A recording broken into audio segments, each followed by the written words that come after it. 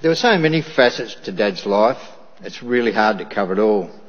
But we all have our own memories that stand out. A couple of things that come to mind.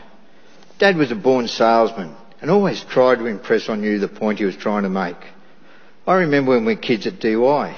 Tea time was always around this brown table with a glass top. None of this sitting in front of TV stuff.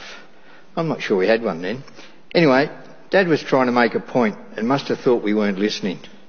So to gain our attention, he banged his hand down on the table and it shattered into a million pieces. That got our attention. To this day, I can still see the surprised look on Dad's face as a glass shattered. It certainly made an impression on me, but I've no idea what point he was trying to make. Computers. What is it about old people and computers? Dad had a fear that he would fill a computer up if he didn't remove useless files. So any he didn't recognise, he would delete. A lot of times this caused the computer to stop working and then the phone calls would start.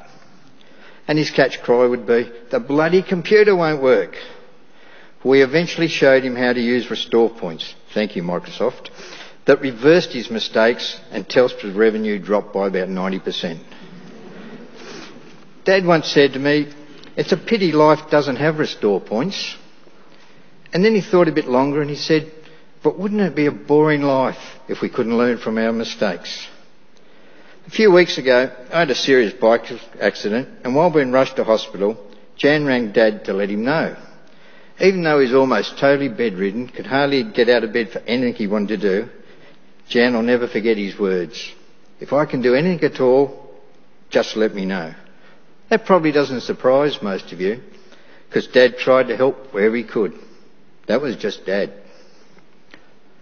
I wonder if part of keeping his promise to Mum was his time of passing, the first hour in June. I know in the hearts of those who knew him, there will always be room for your Arthur, their grandpa, my dad.